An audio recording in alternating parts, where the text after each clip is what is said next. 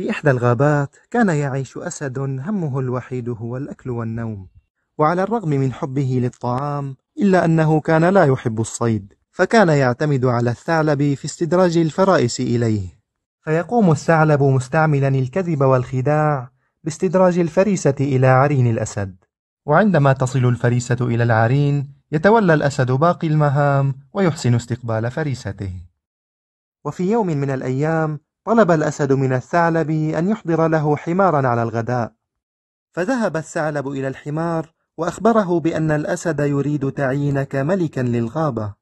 فأسرع الحمار إلى الأسد حالما بمنصبه الجديد. وقبل أن يتكلم الحمار بكلمة انقض الأسد عليه وقطع إحدى أذنيه.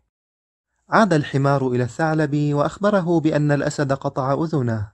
فأجابه الثعلب قطعها ليضع التاج فوق رأسك هيا اذهب واعتذر من الأسد لسوء ظنك به.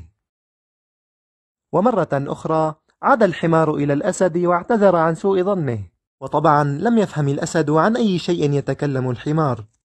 فانقض عليه ولكن هذه المرة قطع ذيله. غضب الأسد لهروب الحمار وهدد الثعلب إن لم تأتني به أكلتك عوضا عنه.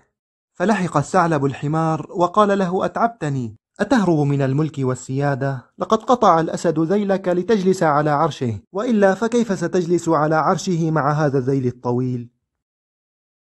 العجيب هنا أن كلام الثعلب أقنع الحمار ليعود إلى الأسد مغمضا عينيه حانيا رأسه منتظرا الأسد ليتوجه لكن الأسد توجه بضربة أنهت حياته وبعدها طلب الأسد من الثعلب أن يسلخ الحمار ويحضر له المخ والقلب والكبد.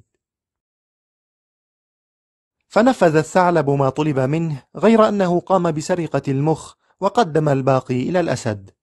وعندما سأله الأسد عن المخ أجابه الثعلب لو كان فيه مخ لما عاد إليك بعد أن قطعت أذنه وذيله. صحيح أن هذه القصة من محض الخيال. لكن فيها عبرة مضمونها ألا نثق بمن خدعنا أكثر من مرة. وكما يقول المثل إذا خدعتني مرة فهذا عار عليك أما إذا خدعتني مرتين فهذا عار علي